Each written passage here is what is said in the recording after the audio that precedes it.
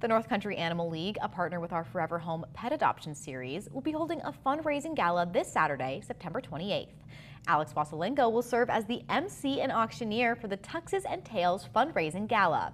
The goal is to raise $60,000 to support NCAL and the animals in their care. So far, they've raised about a third of that overall goal, and they're looking for the community's support in pushing them over the finish line. What we like to do with the money is sort of spread it around. Hmm. So we do like to offer things like uh, reduced price vaccination clinics to uh, to our neighbors and friends in the area. Mm-hmm. We'll do that. We'll share the monies with if we have spay neuter clinics. We'll we'll absolutely put some monies towards those things.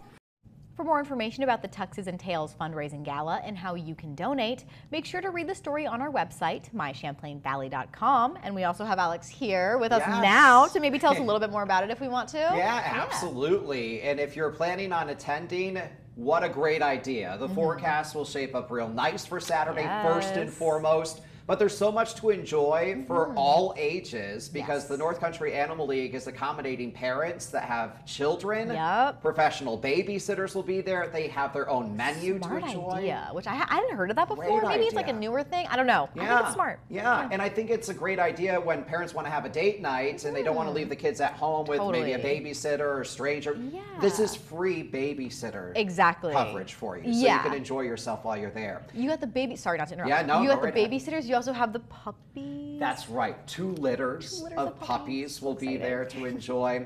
Fire dancers and jugglers. There's also a mm-hmm. six-item auction, which is an incredible auction. Really awesome stuff. The menu, as mentioned, is amazing. An open bar. Mm-hmm. So much more. We're gonna have a blast. Lily will go. Many others from our Definitely. station will be there too.